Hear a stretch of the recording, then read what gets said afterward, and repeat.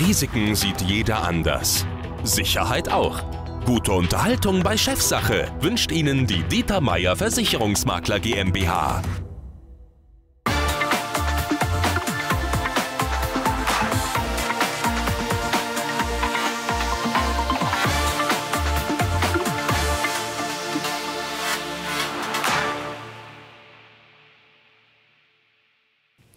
Herzlich willkommen, liebe Zuschauer, bei Chefsache. Heute wollen wir uns mal einem ganz ungewöhnlichen Produkt widmen, und zwar der Welt. Nein, es geht natürlich nicht um den Erdball als solchen, sondern vielmehr um den Handel mit demselbigen. Warum? Naja, weil der Marktführer für Globusproduktion aus unserer Region kommt. Heute das Thema bei Chefsache. Ein Kolumbus-Globus für jedes Heim. So lautete der Slogan 1909. Das Abbild der Erde zum günstigen Preis. Paul Östergaard von Kolumbus machte es möglich. 1909 eine Innovation. Heute 2015 die älteste noch produzierende Globus-Manufaktur der Welt. In Krauchenwies im Landkreis Sigmaringen geht's rund. Kleine Globen, Globen bis zu 65 cm und sogar Globen im Glamour-Look kommen von hier auf den Markt. Ob aktuelle oder antike Kartenbilder. In der Kartografie am Computer scheint nichts unmöglich. Im Handkaschierungsverfahren werden die Kartenbilder dann von Hand aufgeklebt. Liebe zum Detail von Kopf bis Fuß. Armaturen gibt es auch in edlen Varianten aus Perlmutt. So glänzend können Marktführer aussehen. Aber was genau führte das Unternehmen Columbus eigentlich zu dieser Position? Über fünf Generationen gewachsene Erfahrung, Weltneuheiten wie freischwebende oder sprechende Globen oder macht vielleicht der Frauenanteil von 50 Prozent im Management Columbus-Globen zu einer runden Sache?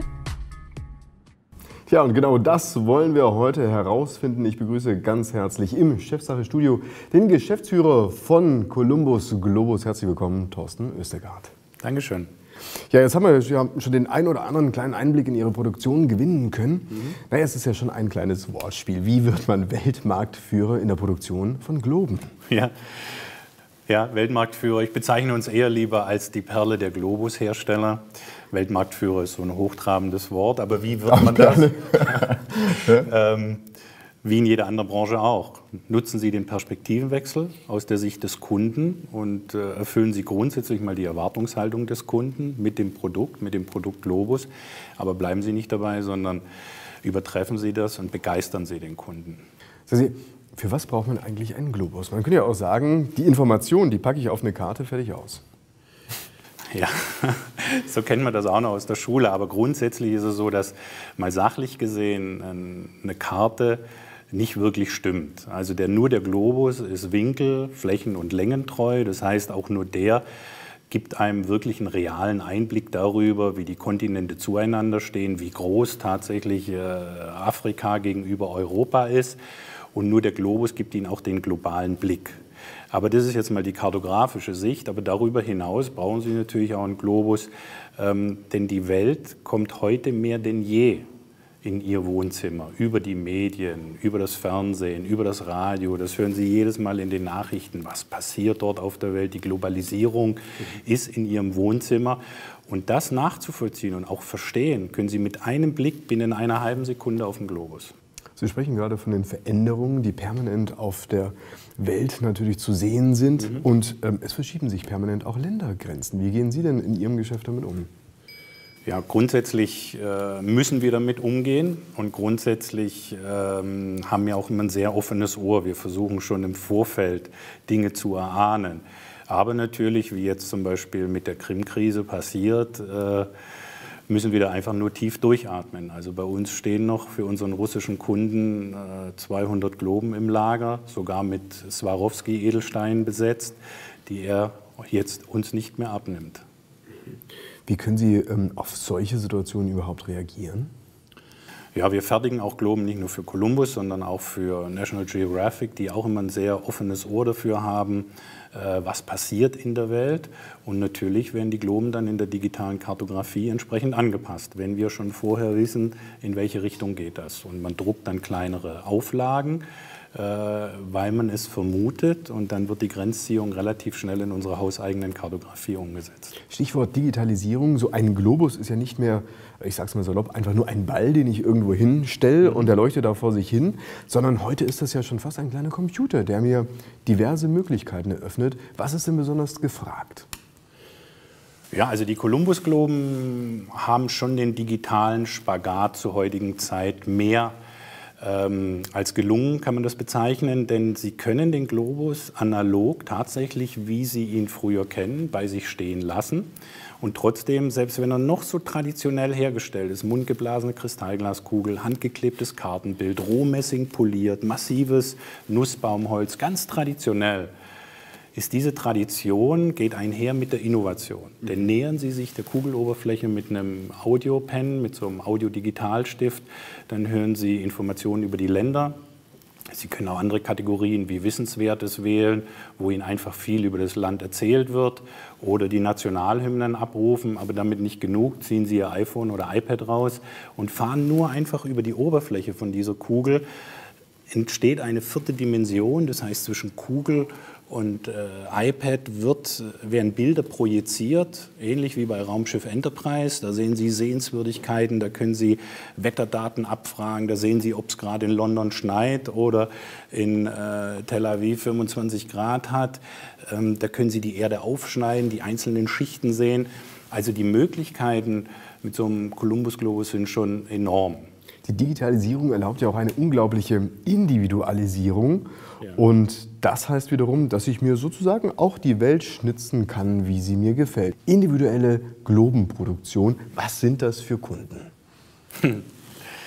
Ja, auch das sind Kunden wie Sie und ich. Ähm, natürlich haben wir auf der einen Seite einen großen Bereich von Museen, die äh, themenspezifische Globen brauchen. Die gehen dann bei uns in die Abteilung für Sonderanfertigung. Da gibt es dann die Bereiche, die eben Museen abdecken. Dann haben wir den Bereich Künstler, das ist auch interessant. Die wollen dann mal die Erde sehen mit einem äh, äh, erhöhten Meerespegel von sechs Metern oder so. Mhm. Was ist dann noch alles da? Mhm. Aber ich kann Sie beruhigen, Ravensburg und Krauchenwiese existieren da noch. Na wunderbar. Ähm, nichtsdestoweniger ist es auch erschreckend, was dann tatsächlich nicht mehr da ist an ja. der Landmasse. Und dann haben wir natürlich auch äh, ausländische Kunden, die tatsächlich die politische Landschaft sich so gestalten möchten, wie sie ihrer Meinung nach auch richtig gehört. Das heißt, ähm, die stellen einfach die Länder anders dar, als ob sie sozusagen zu ihnen gehören würden. Ja gut, wem gehört schon was auf der Welt? Wenn ich das immer gefragt wird, sage ich immer, äh, man soll auf diesen physischen Globus von Kolumbus zurückgreifen. Der zeigt die Welt so, wie man sie von Mond aus sieht. Dann sage ich hier, so, dem gehört das die Welt. Nämlich da sind keine bunten Grenzlinien drauf. Also dahingehend ähm, ist es eine Frage, ist es unanständig, wenn die Chinesen den Mount Everest zum Teil beanspruchen? Er steht ja letztendlich auf ihrem Gebiet. Äh, den Konflikt Palästina-Israel, der ist jedem gänglich. Äh, heißt es Persischer Golf, heißt es Arabischer Golf. Und äh, dahingehend ist es so, wenn Sie jetzt sagen, ich möchte mir einen Globus einzeln anfertigen, deshalb kann man nicht sagen, dass der unbedingt falsch ist. Ob jetzt da Israel drauf ist, gerade im arabischen Raum oder nicht, das ist eine Frage ob in Indien, Pakistan, das Gebiet Kaschmir jetzt China zugeordnet ist, Pakistan zugeordnet ist oder Indien. Ich erlaube mir da weniger äh, ein Urteil zu fällen, ist es richtig oder ist es falsch? Also ich könnte mir ja vorstellen, also so wie es geschrieben steht, so gilt es. Gibt es denn auch tatsächlich ähm, zum Beispiel Regierungen, die bei Ihnen anrufen oder anrufen lassen und versuchen darauf einzuwirken, wie der Globus auszusehen hat? Ja, Regierungen weniger, aber Botschafter. Das gehört das natürlich passiert. auch mit. Ja, das passiert. Das gehört natürlich auch mit ein bisschen zu diesem Geschäft. Ähm, begründet wird das immer dahingehend, dass Kolumbus halt doch so eine Dominanz im Markt hat, mhm. dass wir automatisch meinungsbildend sind.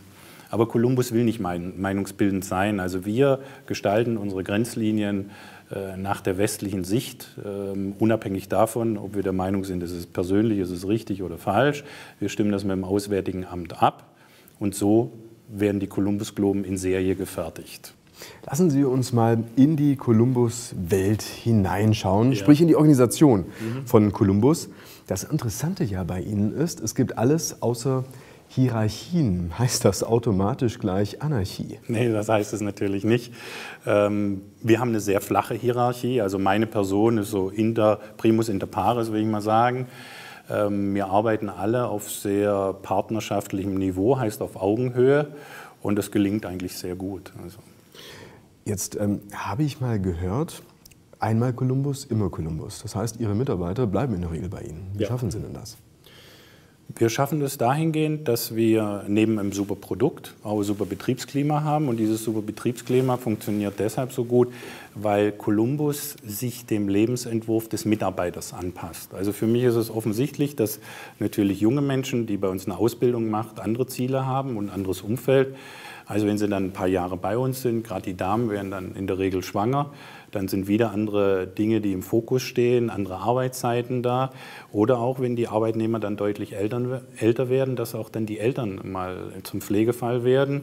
Drunter kann passieren, dass äh, dass eine Arbeitslosigkeit vorherrscht und das Haus trotzdem abbezahlt werden muss und die Darlehen äh, getilgt werden müssen und so, bietet sich Kolumbus immer an zu sagen, das ist ein persönlicher Lebensentwurf momentan und den versuchen wir hier im Unternehmen abzugleichen. Und wenn Sie das jedem Mitarbeiter anbieten oder nahezu jedem Mitarbeiter dort, wo es möglich ist, da werden Sie erstaunt sein, das federt sich immer aus. Also die Schicksalsschläge, die treffen alle von uns, unabhängig davon, ob männlich oder weiblich, alt oder jung. Das verändert sich und dadurch gleicht es sich natürlich auch immer wieder aus. Herzlichen Dank für diese spannenden Einblicke. Thorsten Östergaard, der Geschäftsführer von Columbus Globus, dem Weltmarktführer in der Globusproduktion mit Sitz in Grauchenwies in der Nähe von Sigmaringen. Liebe Zuschauer, ich hoffe, Sie konnten auch das eine oder andere mitnehmen. Ich würde mich freuen, wenn Sie nächste Woche wieder mit dabei sind. Und bis dahin wünsche ich Ihnen alles Gute.